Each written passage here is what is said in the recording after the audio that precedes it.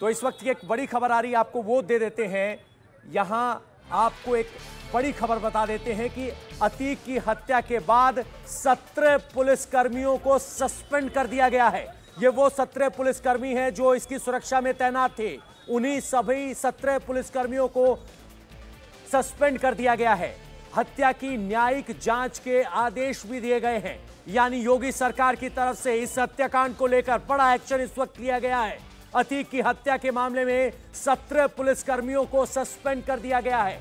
इस हत्याकांड के कुछ घंटे के अंदर ही योगी आदित्यनाथ ने लखनऊ में एक हाई लेवल बैठक बुलाई थी और उस बैठक के बाद ये जानकारी निकलकर सामने आ रही है कि जो सुरक्षाकर्मी अतीक की सुरक्षा में तैनात थे, सत्रह उनकी संख्या थी। उन सभी सत्रह पुलिसकर्मियों को सस्पेंड कर दिया गया है। तुरंत एक्शन लिया गया है। यहाँ पर पुलिस की बड़ी नाकामी। सत्रह पुलिसकर्मी तैनात होने के बावजूद तीन लोग आते हैं। अतीक और अशरफ की हत्या कर देते हैं और अब सरकार की तरफ़ से एक बड़ा एक्शन लिया गया है और सत्रह पुलिसकर्मियों को सस्पेंड कर दिया गया है। इतना ही नहीं, इस पूरे हत्याकांड के लिए एक न्यायिक जाँच के भी आदेश दिए गए हैं।